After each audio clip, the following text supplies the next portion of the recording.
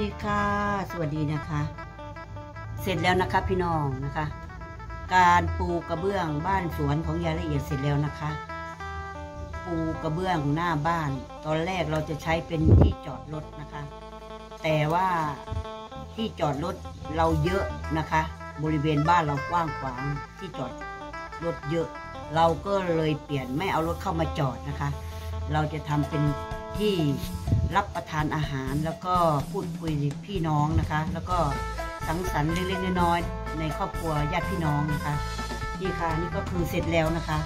อันนี้ก็คือบ้านสวนบ้านดงมันนะคะกุดน้ำใสพนมไพรร้อยเอ็ดนะคะพี่น้องนี่นะคะยายพามาอัปเดตนะคะ มาอัปเดตการปูกระเบื้องนะคะ เสร็จแล้วนะคะ เรียบร้อยนะคะ สวยงามนะคะเสร็จแล้วค่ะนะคะ เนี่ยด้านข้างก็จะมีไม้หินอ่อนหนึ่งชุดนะคะสำหรับเอาไว้นั่งทานข้าวตอนเย็นๆอากาศดีๆนะคะ นี่ก็คือบริเวณโรงรถของเรากว้างขวางสะอาดสะอ้านนะคะ ถ้าเสร็จแล้วก็จะสะอาดสะอ้านแบบนี้แหละนะคะนี่นะคะนี่กว้างขวางสะอาดสะอ้านนะคะ เสร็จแล้วเสร็จแล้วค่ะนี่ค่ะนี่ค่ะ ส่วนหนึ่งก็จะเป็นสีขาวนะคะ สีขาวนะคะ เพราะว่ากระเบื้องไม่พอเนาะไม่พอแล้วก็ไปจัดสรรมาอีกหนึ่งรายนะคะ จะได้ลายมาอีกหนึ่งลายคือสวยงามนะคะเห็นไหมคะสวยงามสวยงามนะคะนะคะสวยงามนะคะ เข้ากันกับพื้นของเรานะคะ เนี่ยก็คือบรรยากาศบ้านสวนบ้านนาอากาศดีๆนะคะ ตอนนี้ลมมากเลยนะคะลมแรง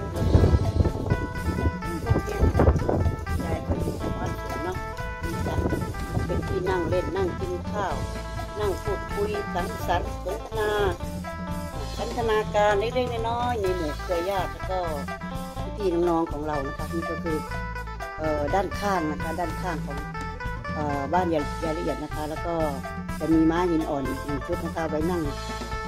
รับลมตอนเย็นๆนะคะ หรือว่าตอนเช้าๆดื่มกาแฟกันนะคะก็จะประมาณนี้นะคะเสร็จแล้วค่ะสวยงามสะอาดสะอาดนะคะนะพี่น้องเห็ดเห็นมันดีมันก็หนานังนะพี่น้องเนาะนะคะเนี่ยเนี่ยนี่ก็คือป้ายยาละเอียดอูอูชาแนลบ้านสวนน ก็จะประมาณนี้นะคะ เสร็จแล้วค่ะนะคะสวยงามนะพี่น้องเนาะมาดูกันมาดูกันดูกันนะคะนี่เสร็จแล้วค่ะเสร็จแล้วขอบคุณนะคะที่เข้ามารับชมนะคะถ้าชอบกดถูกใจกดไลค์กดแชร์กด subscribe กดติดตามและอย่าลืมกดกระดิ่งติ้งกดกระดิ่งติ้งกับพี่น้องเด้อนะคะ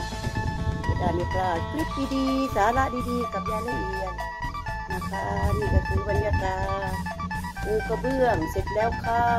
น่าอยู่มากขึ้นเลยสะอาดสะอ้านเนาะสะอาดสะอาดขึ้นปิดหูปิดตาเลยนะคะขอบคุณค่ะที่เข้ามารับชม